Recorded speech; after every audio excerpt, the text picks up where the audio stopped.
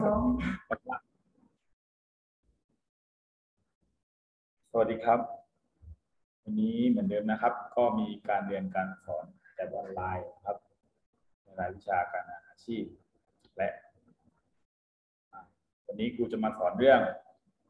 หลักการทำงานเพื่อการดำรงชีวิต เน้นไปทางเรื่องทักษะการจัดการ ชั้นมัธยมศึกษาปีที่สามนะครับ โดย ว่าที่ร้อยตรีวิทยาวงคายนะครับเรามาดูกันนะครับพูดถึงทักษะการทำงานหรือว่าทักษะการจัดการ ทักษะการจัดการหมายถึงกระบวนการในการดำเนินงานเรียกว่ากระบวนการดำเนินงานอย่างใดอย่างหนึ่ง ที่มีระบบโดยร่วมตั้งแต่เริ่มตั้งแต่การวางแผน การดำเนินงานนะครับ การทำกิจกรรมต่างๆ ตามหน้าที่อย่างสร้างสรรค์และเป็นไปด้วยความเรียบร้อยราบรื่นมีประสิทธิภาพ และเกิดประสิทธิผลสูงสุด รวมไปถึงการดำเนินงานเพื่อปรับปรุงแก้ไขพัฒนาให้ดีขึ้น ซึ่งทำให้เกิดทักษะนะครับ เรามาดูต่อไปนะครับ การจัดการสามารถจัดได้เป็นสามกลุ่มดังนี้หนึ่ง ทักษะเกี่ยวกับคนนะครับ หรือเรียกว่า human skill นะครับ คือการที่สามารถเข้าใจและทำงานร่วมกับผู้อื่นได้ดี เนื่องจากผู้จัดการคือบุคคลที่ทำงานสำเร็จโดยใช้บุคคลอื่น ผู้จัดการจำเป็นต้องสามารถโน้มน้าวจูงใจและสื่อสารกับผู้อื่น ได้อย่างมีประสิทธิภาพประสิทธิผล เช่น การพูดจาสุภาพ ให้เกียรติซึ่งกันและกันกับเพื่อนร่วมงานนะครับ ต่อไปครับสองทักษะเกี่ยวกับงานนะครับ technical skill นะครับ technical skill คือความสามารถอ่าเขาเรียกว่าความสามารถที่มีความเชี่ยวชาญในงานเฉพาะอย่างเรียกว่าการมอบหมายงานและความรับผิดชอบในหน้าที่การทำงานของแต่ละคน เช่นผู้จัดการฝ่ายบัญชี มีความรู้ความสามารถหลักการบัญชี รวมทั้งสามารถสรุปผลการดำเนินงานในรูปบัญชีได้ ในขณะที่ผู้จัดการฝ่ายผลิตมีความรู้ความสามารถในกระบวนการและขั้นตอนในการผลิตเป็นต้นนะครับต่อไปนะสามครับ ทักษะเกี่ยวกับการคิด concept นะครับ concept skill ก็ประกอบด้วยความรู้และความสามารถในการวิเคราะห์ และสามารถเห็นภาพรวมของส่วนต่างๆ ในองค์กร การคิดแก้ปัญหาเพื่อประโยชน์สำหรับองค์กรนะฮะต่อไปครับข้อที่สี่ข้อที่สี่นี่ก็คือรวบรวบมาจากข้อที่สามก็คือ คิดว่าการใช้ทรัพยากรในการปฏิบัติงานอย่างคุ้มค่าและยั่งยืน การใช้ทรัพยากรนะครับ ก็คือการทำงานจะต้องคำนึงถึงสิ่งแวดล้อมเป็นหลักนะ โดยเลือกใช้ทรัพยากรที่ไม่ทำลายสิ่งแวดล้อม และก็ทำให้มีประโยชน์สุดนะครับประหยัดสูงสุด โดยมีหลักการใช้ทรัพยากรอย่างคุ้มค่าดังนี้หนึ่ง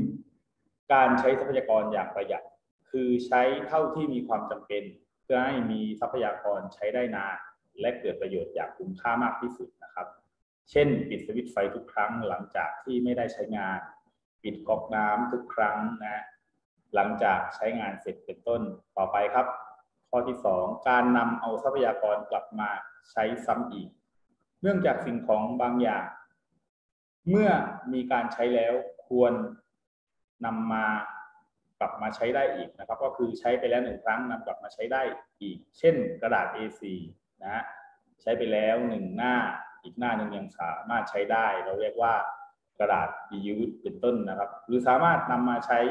โดยผ่านกระบวนการต่างๆนะครับ ไม่ว่าจะเป็นกระดาษขวดพลาสติกที่ใช้แล้วนะครับ ผ่านกระบวนการต่างๆ เอามาเขาเรียกว่ารีไซเคิลใหม่นะครับก็เป็นกระดาษแข็งเป็นขวดพลาสติกเป็นต้น ซึ่งเป็นการลดปริมาณการใช้ทรัพยากรและการทำลายสิ่งแวดล้อมได้ข้อต่อไปนะครับ ก็คือข้อที่สาม การใช้สิ่งอื่นทดแทน เป็นวิธีการที่จะช่วยให้มีการใช้ทรัพยากรธรรมชาติน้อยลง และไม่ทำลายสิ่งแวดล้อม เช่น การใช้ถุงผ้าแทนถุงพลาสติก การใช้ใบตองใส่อาหาร แทนใช้โฟม การใช้พลังงานแสงแดดนะครับ แทนแร่เชื้อเพลิง การใช้ปุ๋ยชีวภาพ ปุ๋ยข้อ แทนปุ๋ยเคมีเป็นต้นนะครับ ข้อที่สี่ครับ ก็คือการบูรณะซ่อมแซมสิ่งของบางอย่างนะครับ เมื่อใช้เป็นเวลานานอาจเกิดการชำรุดเสียหายได้ ถ้ามีการบูรณะซ่อมแซมจะทำให้สามารถยืดอายุใช้งานต่อเนื่องได้นะครับ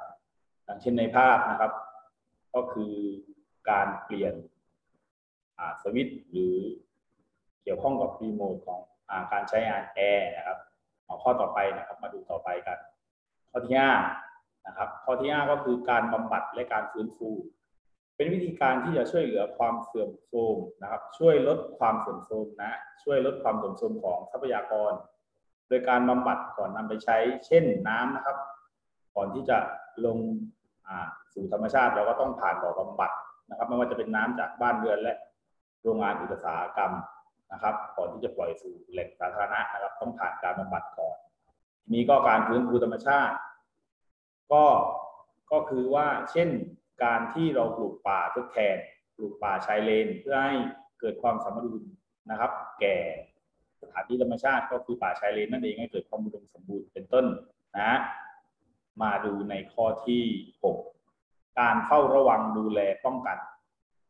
เป็นวิธีการที่จะไม่ให้ทรัพยากรธรรมชาติ และสิ่งแวดล้อมถูกทำลาย เช่นการเฝ้าระวังการทิ้งขยะหรือปฏิกูลลงในแม่น้ำลำคลอง การจัดทำแนวป้องกันไฟป่าเป็นต้นนะมาดูในข้อต่อไปเลย ก็คือเรื่องเกี่ยวกับคุณธรรมและจริยธรรมในการทำงานนะการมีคุณธรรมและจริยธรรมในการทำงานนั้นเป็นงานอย่างมีจิตสำนึก ถูกวิธีเป็นขั้นตอนมีประสิทธิภาพ และเป็นที่ยอมรับของผู้อื่นในสังคม ซึ่งมีองค์ประกอบสำคัญดังนี้นะครับ ก็คือมีการประกอบอาชีพที่สุจริตในการทำงาน เราจะต้องเลือกประกอบอาชีพที่สุจริตไม่เดือดร้อนไม่เป็นภัยต่อสังคมและคนอื่นทั่วไปเลือกที่จะประกอบอาชีพนั้น ให้สุจริตที่สุดนะครับหนึ่งมีความเสียสละอุปกรณ์ในการทำงานร่วมกับผู้อื่นเนี่ยเราจะต้อง เห็นแก่ประโยชน์ส่วนรวมมากกว่าประโยชน์ส่วนตัว ไม่เห็นแก่ตัว รู้จักให้และแบ่งปันช่วยเหลือคนอื่นโดยไม่หวังผลตอบแทนนะครับ นั่นก็คือมีความเสียสละสองครับ มีความซื่อสัตย์ในการทำงานเราจะต้องมีความซื่อสัตย์ต่อเนื่อง ที่ต่อหน้าที่ของเรานะครับ มีความซื่อสัตย์ต่อหน้าที่และงานที่ได้รับมอบหมายปฏิบัติ งานด้วยความจริงใจและไม่คดโกงหรือหลอกลวงผู้อื่น ในหัวข้อที่สองก็คือความซื่อสัตย์นะฮะต่อไปกับข้อที่สามมีความขยันและอดทน จะต้องมีความมุ่งมั่นต่องานที่เราได้รับมอบหมายนะครับ เพื่อให้งานนั้นบรรลุเป้าหมาย แล้วก็เมื่อพบปัญหาอุปสรรคการทำงาน ให้นำปัญหาอุปสรรคนั้นมาปรับปรุงและแก้ไขได้ดียิ่งขึ้นนะครับ จึงทำให้เกิดมีความขยันอดทน ข้อที่สี่ครับ มีความยุติธรรม ในการทำงานเราจะต้องไม่ลำเอียงยึดถือความถูกต้องเป็นหลักนะครับ ไม่อคติกับเรื่องต่างๆ ที่ได้ยินหรือรับฟัง จึงจะเป็นที่น่านับถือของเพื่อนร่วมงานได้ครับ มาดูต่อไปนะครับห้านะครับห้าก็คือมีความรับผิดชอบต่อหน้าที่ได้รับมอบหมายนะครับ จากเพื่อนร่วมงานลูกค้าสังคมและสิ่งแวดล้อม โดยใช้วัตถุดิบที่มีคุณภาพมาผลิตสินค้า ไม่ทำลายทรัพยากรธรรมชาติ และสิ่งแวดล้อมนะครับปกมีความตรงต่อเวลา เป็นวินัยพื้นฐานในการทำงานมีความตรงต่อเวลา ไม่ทำงานสายและต้องส่งงานที่ได้รับมอบหมายตามกำหนด และทำให้เรียกว่าเกิดประโยชน์ต่อการตรงเวลานะครับ ก็คือประโยชน์ต่อการตรงเวลานั้นมีอะไรบ้างครับหนึ่งครับพัฒนาตนเองให้เป็นไปต่อ สภาพเขาเรียกว่า คือเราต้องรู้จักแบ่งเวลาให้เป็นประโยชน์นะฮะ